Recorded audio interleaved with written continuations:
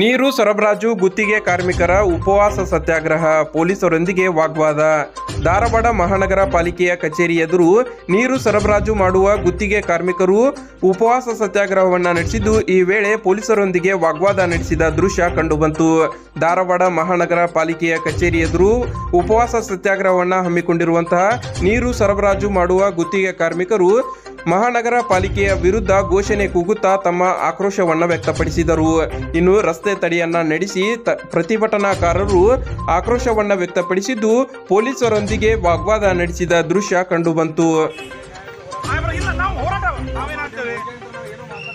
ಯಾರಕ್ಕೆ ಮಾತಾಡಿಸ್ತೀರಿ ನೀವು? ನಾವೇನು ರೋಡ್ ಬಂದ್ ಮಾಡೇವಿ? ಕಾನೂನು ಕೈಯಾಗ ತಗೊಂಡೇವಿ ಮತ್ತೆ ಮಾತಾಡಿಸ್ತೀರಿ? ನಮ್ಮ ಹಾಕಕ್ ಕೊಡ್ರಿ ಅಲ್ಲ ನಾವು? ಹಾಕೋರು ಸಾಹೇಬ್ರೆ. ಏನ್ ನೀವು ನಮ್ಮನ್ನ ಹೊಡಿತೀರಿ ಬಡಿತೀರಿ ಬೇಕಾದ ಮಾಡ್ರಿ ನಾವೆಲ್ಲ-